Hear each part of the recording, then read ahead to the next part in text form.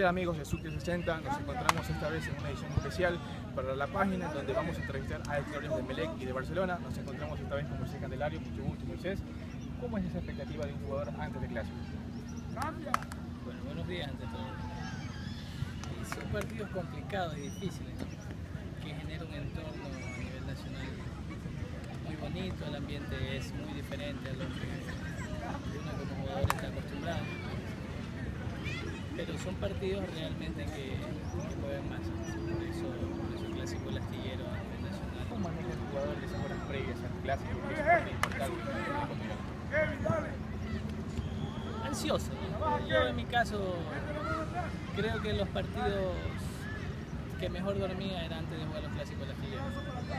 Porque tú sabes cómo te tienes que manejar, sabes el, el, el tema de que es no poder perder y, y, también, lógicamente, tratar de, con los objetivos que tiene Club este ganando como Pelé y Barcelona, tratar de, de, ganar los clásicos siempre será importante para que tú puedas conseguir los objetivos. Una opinión personal, Moisés, un partido que hayas recordado por toda tu vida. Ayer estábamos viendo con mi esposa eso. En el 2005, este, mi último gol en el clásico del astillero en el Estadio Modelo.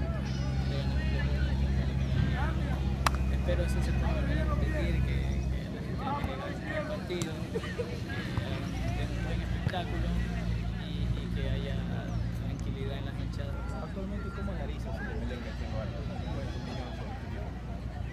Yo creo que Melec está en una transición ahora y es normal cuando, cuando ya salió un grupo o parte de ese grupo del cual los tres campeonatos eh, tener una renovación está teniendo de poco y eso a medida que, con los jugadores nuevos que han llegado vaya ensamblando lo que quiere el profesor que está actualmente, puede hacer que me le vaya mejorando poco a poco y que pueda volver a tener objetivos claros para lo que puede ser no solo ganar ya un torneo nacional, sino pelear una Copa Internacional que sería muy importante. Esta plantilla de actual de por Emelec, algún jugador que personalmente que digas que ese jugador va a romperla en Emelec. Yo creo que Melec tiene jugadores importantes. Darle un nombre sería tan lógico, pero yo creo que Melec tiene un buen conjunto. Y en la medida que Melec vaya haciendo las cosas bien y se vayan entendiendo, este me le va a dar mucho que hablar. Tal vez no ahora, que le va a costar, pero estoy seguro que dentro de un año este Melec de ahora seguramente no ganará tres campeonatos. Y sería importante consciente de saber de que la gente es tan exigente, se lo digo porque formé parte, de, soy parte de la historia, la que tiene por MLE, la hincha de MLE. No solo quiere un campeonato nacional, que no solo quiere, quiere que a Barcelona. ¿no? las palabras de José Candelario, una de las glorias que tenido el por MLE.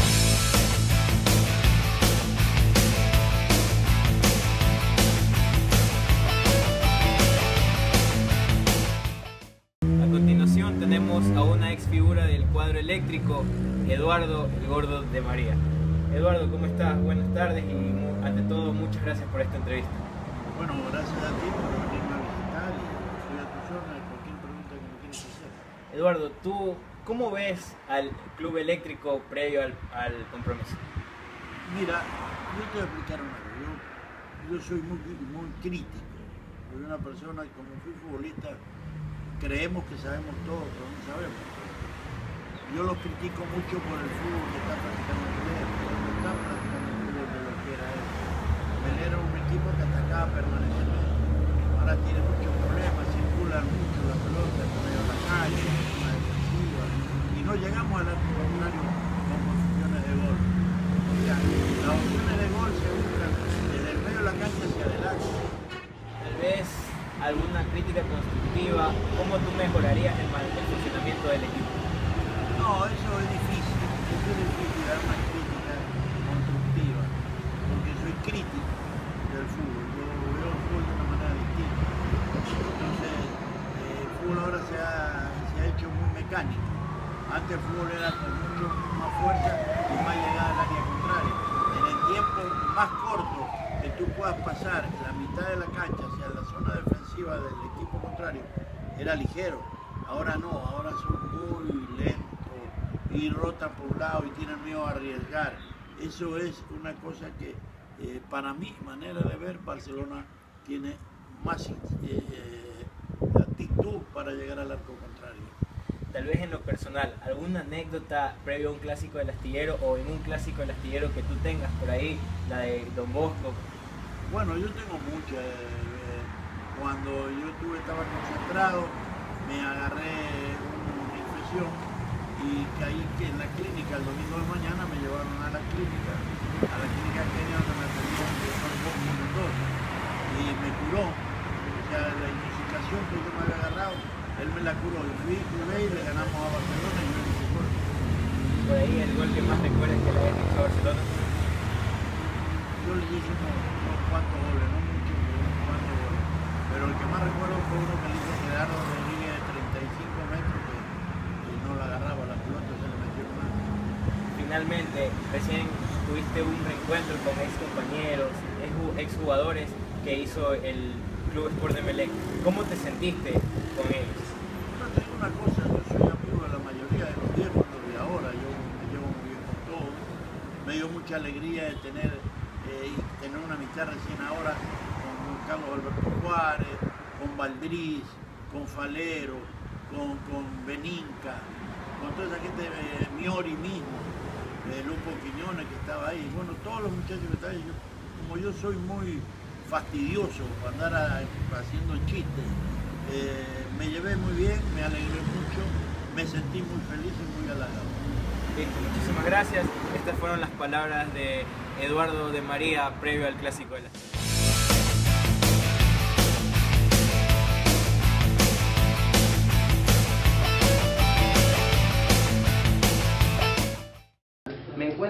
Raúl Avilés, una de las ex gloria de Melé, previo al clásico del astillero. Bienvenido y muchas gracias Raúl por la, por la entrevista al medio digital Sub 360. Previo al clásico del astillero, usted como jugador, ¿qué sentía el futbolista antes de un partido importante? Bueno, no- primeramente un buen día eh, y a la gente de Switch 360. Uno siente emoción, es algo pero increíble. Eh, es difícil expresarlo, ¿no? Pero más que todo jugar contra un clásico rival, eh, hay nerviosismo y a su vez también mucha ansiedad de poder estar dentro del. Eh, este partido pasado para el domingo, eh, su perspectiva para, para este encuentro que será sin duda alguna uno de los máximos eh, atrayentes en esta fecha. Sí, es complicado, es complicado tanto para Barcelona como para el. Barcelona viene bien después de ese partido excepcional que tuvo en La Plata. Emelec es puntero, eso le da un poco de tranquilidad para poder estar dentro del campo pero los resultados eh, casi son bien, bien complicados, no hay favoritismo en este partido. ¿Qué jugador puede ser eh, llamado referente en el Medellín en este partido? Montañini, Montañini por lo que está expresando, Montañini por lo que está dentro del campo de juego y en Barcelona yo la por todo lo que recibe. ¿Qué sentía usted previo a un encuentro de esto, eh, los días antes, dos, dos, tres días antes, cuando ya comienzan a estar concentrados?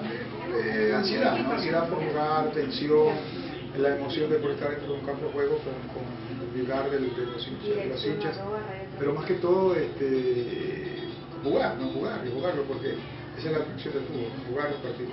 Y ahora, desde su perspectiva como comentarista de partido, eh, ya dejando al lado eh, el lado futbolístico de la carrera que usted vivió, ¿cómo analizaría en sí este, este encuentro, eh, uno de los más importantes, viendo, viendo que Barcelona viene ganando Libertadores? Es difícil, es difícil porque tanto Barcelona como Melé tienen un buen plantel. Son partidos pronósticos reservados. El más fuerte pierde o el que viene menos mal gana o el fuerte gana. O sea, son, son pronósticos reservados. Una jugada brillante, cualquier jugador liquida un encuentro y, y esperemos que el resultado y el partido sea muy bueno, como lo que han venido expresando tanto Barcelona como Melé. Y el ambiente de la hinchada. Por ahí hay uno que otro loco que, que quiere demostrar eh, fiereza, cuando antes la- las hinchadas deberían de, de disfrutar del fútbol y no hacer esto una guerra, que es lo que complica a veces al hincha, al espectáculo. Por eso ahora han prohibido el ingreso de la, de la barra del otro rival o del otro equipo porque genera esto violencia que no debería ser. Mientras tanto el fútbol debería ser un juego, algo divertido, una pasión para poder ir un fin de semana con la familia a ver los partidos. ¿Usted está de acuerdo que se le prohíbe el ingreso a la hinchada? Pero por supuesto al hinchada visitante de cualquier equipo que haga problema. ¿Por qué? Porque están en riesgo no solamente los hinchas, los alrededores, porque a veces sale uno que otro desarmado a romper, a romper carros, todo. Mientras haya buen comportamiento, solo que vayan así las hinchadas del equipo pelota. Bueno, muchas gracias, don Raúl. Un gusto. Esto ha sido señor. para Switch 360. Bueno, bien. Claro.